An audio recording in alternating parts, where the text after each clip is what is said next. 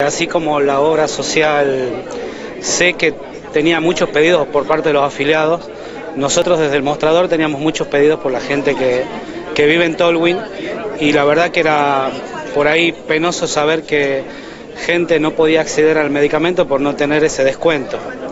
Siempre desde el mostrador tratamos de darle la solución, pero creo que con esto eh, vamos a cumplir más con el deber social que tiene una farmacia y no solo comercial porque la farmacia también es un ente de salud. Eh, esperamos cumplir las expectativas y esperamos que nos tengan un poco de paciencia porque Tolwyn también es una plaza muy difícil. Yo como farmacéutico y con mis socios, digamos, eh, farmacéuticos, tenemos mucha experiencia en la provincia, pero Tolwyn puedo asegurar que es una de las plazas más difíciles que hay para el ejercicio de la farmacia. ¿Difícil en qué sentido?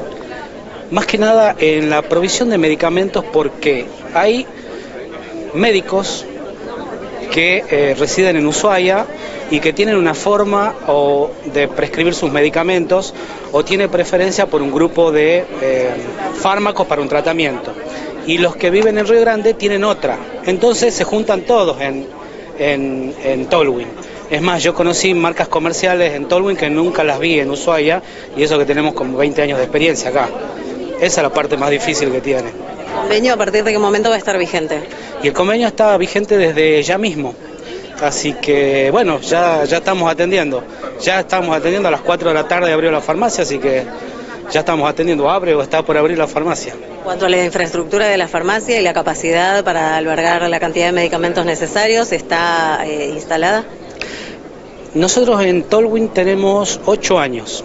Eh, tenemos mucha historia en Tolwyn y tenemos un buen stock, pero creo que nos puede complicar un poquito porque había mucha gente que no compraba en la farmacia y se venía a las farmacias de usuarios Río Grande a comprar y por ahí esas especialidades medicinales no la tengan al instante, pero seguramente la vamos a proveer desde acá, desde Ushuaia, porque también tenemos una farmacia en Ushuaia. Tal vez al principio cueste un poco en arrancar en algunos aspectos, pero creo que estamos preparados para el desafío.